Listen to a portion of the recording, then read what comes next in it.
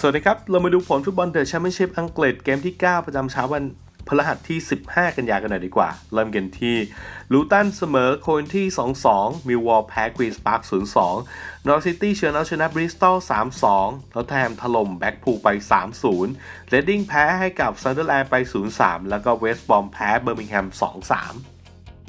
ไปกันที่ตารางคะแนนล่าสุดฮะ อันดับ 1 ก็เป็นเชฟยูเก็บไป 20 คะแนน อันดับ2นอริชซิตี้มี 19 อันดับ 3 กับ 4 เป็นแบล็คเบิร์นแล้วก็เรดดิ้งมี 15 คะแนน อันดับ 5 ถึงอันดับที่ 8 ครับ มีเบิร์นลีย์ซันเดอร์แลนด์บริสตอลควีนส์ปาร์กเก็บไปทีมละ 14 คะแนน ในขณะที่โซนท้ายตารางฮะ อันดับ 20 ถึง 22 มีเวสต์บรอมมิดเดิลสโบรห์แล้วก็สวอนซีเก็บไปทีมละ 9 อันดับที่ 23ฮัดเดอร์สฟิลด์มี 4 แล้วก็อันดับสุดท้ายโคเวนทรีซิตี้มี 2 คะแนน ไปที่ดาวซัลโวล่าสุดยังคงเป็นออสการ์เอสตูปินญานที่ซัดไป 7 ประตู